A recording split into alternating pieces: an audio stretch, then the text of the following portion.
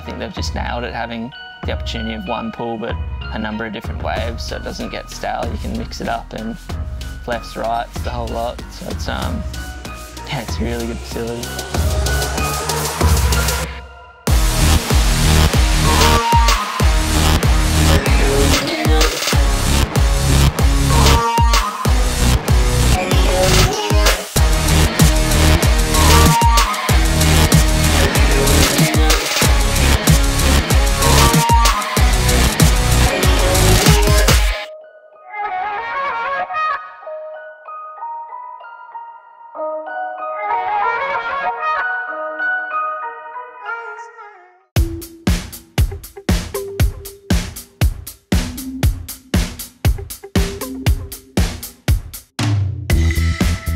It great to be up there during August and it was just better. I saw it fresh and clean and the waves seemed better. They done, they done some work on it. It just seems to get better every time. Being a surfer and seeing a good wave, I mean, that's, you know, that's a holy grail. The one wave spreads out in a circle and, and it's going to all these different breaks and you can't keep your eye on watching all these different breaks breaks. There's a crazy slabbing pit there, there's a perfect peak there, and then there's another like Trestles fun wave over there, and you're like, you're trying to see what each wave's doing, and you can't keep your eyes on all of them. When someone sees it that hasn't seen it yet, the, the look on their face is just wild. I was up there with Surfing Life shooting the, their board test. Initial thoughts would it maybe be a little bit gutless. You never know how powerful a machine-made wave's going to be, and that was pretty quickly destroyed. It turned out to be pretty powerful and, yeah, solid.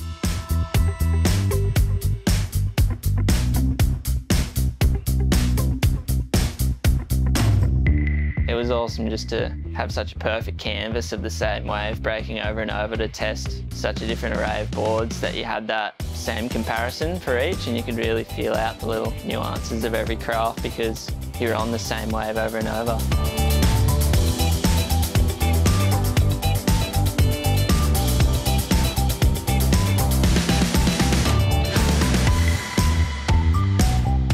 Felt good just to kind of get back in the groove.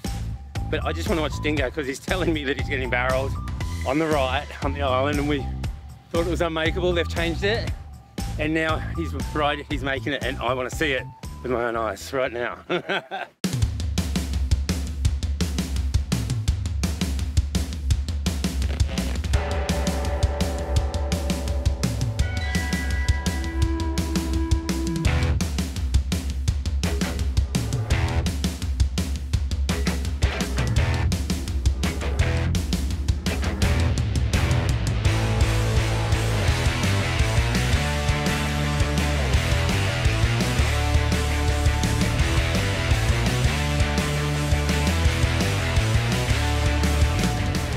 I really want to see if it was doable because I don't think anyone really made a wave. And I think Jay Ock, you know, he tried before, but um, I think he might have broke his board or something happened. You know, I, I think the first wave I went over and then I kind of seen where I needed to sit, you know, and then just had a ball all day.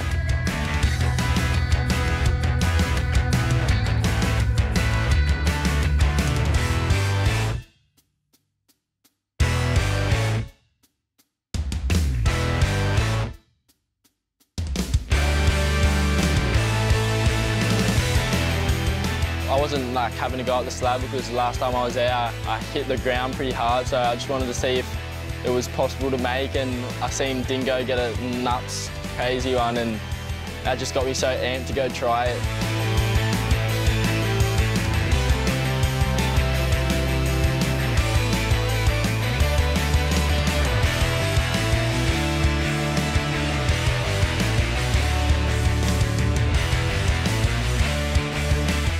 The, whole process of it paddling out and then sitting in the lineup and then just seeing this like something out of uh, uh, out of Waterworld. You just get these perfect lines that hit, hit that bit of concrete. Unreal.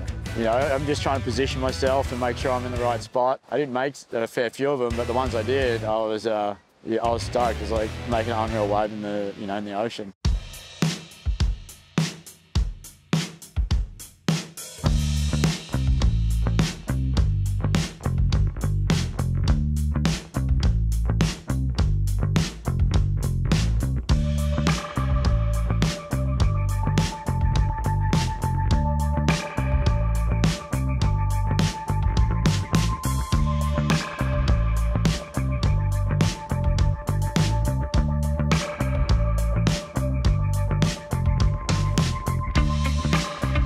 Sick to see Luca surf the wave pool. She's a really good male rider and it's, it's really good to see like the pool is good for male riders as well.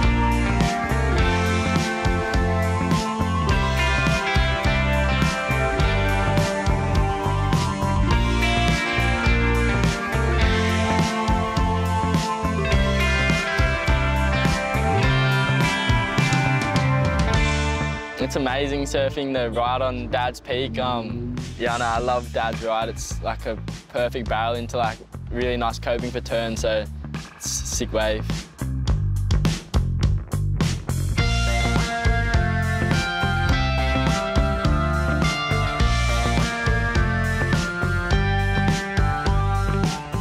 Jay's coming along. The best thing that's actually happened with him too, apart from splitting the peak, he's working on his backhand there. So we don't get a lot of lefts on the Gold Coast. And um, he's learning his barrel riding on the left, and he's been, um, it's progressing great. And um, to have that is just like, oh, you know, it's um, priceless, really.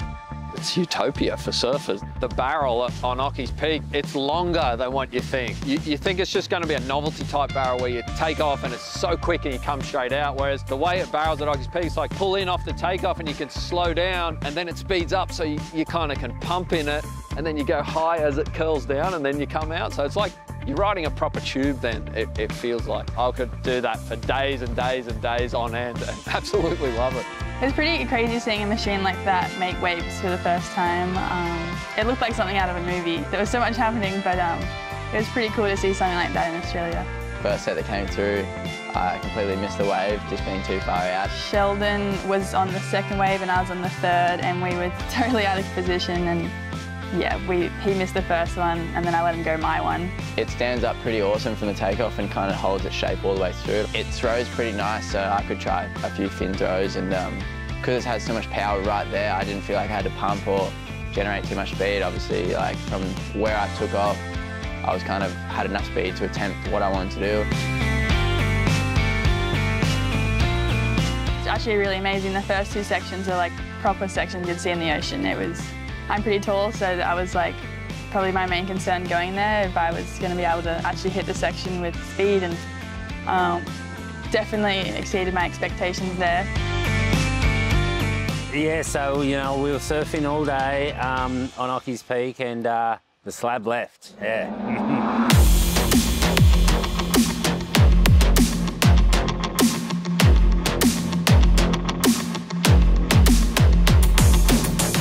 I've a lot bigger waves, but your adrenaline's really high. It's really shallow there. It's really um, intimidating. It's as heavy as any wave at that size that I've ever surfed.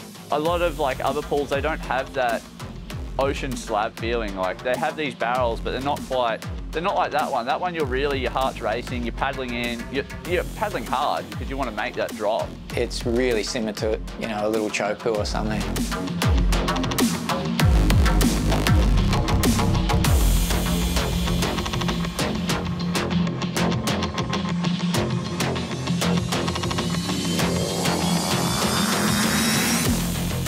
I dragged up the courage to go over there and uh, Kobe had been getting good barrels. Like I think it took him about 15 to, get it wired.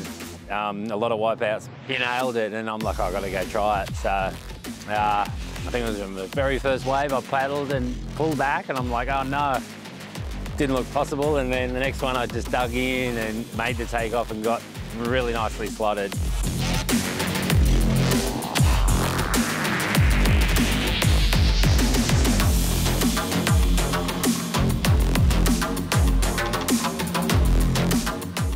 And the feeling after that was like a new wave had been found. Yeah, the island or the, or the slab, it's uh, crazy. It's so much power condensed into such a short amount of time. It's just all positioning, basically.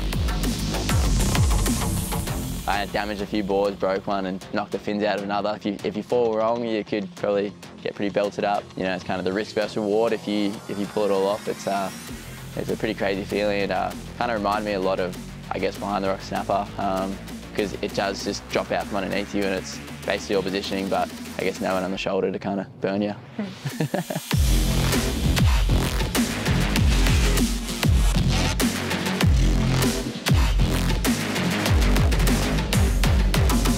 Yeah, I'd seen the seen the slab detonating over in the in the corner while I was surfing the left all day, and such a high energy little setup.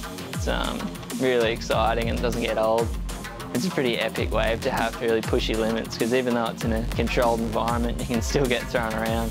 And I think back end you have that luxury of a little third point of contact, grabbing the rail, otherwise you just can be mid-air free falling and that helped me just grip down the wave and you can really kind of put your body into the wave to hold on like a bucking bull, you've got a little extra point. And yeah, I couldn't believe how square and just glassy the tube was, and I think it even spat. It was um, definitely a pretty special moment.